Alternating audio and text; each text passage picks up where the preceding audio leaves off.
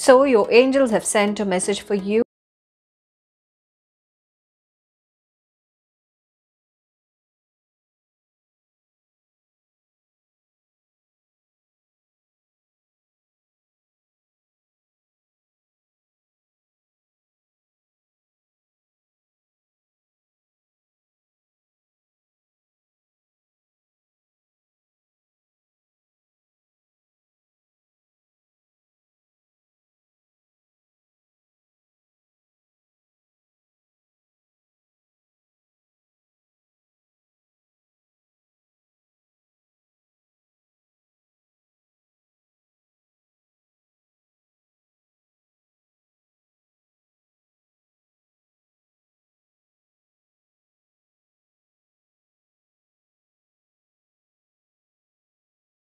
Right for the particular time and coming one week.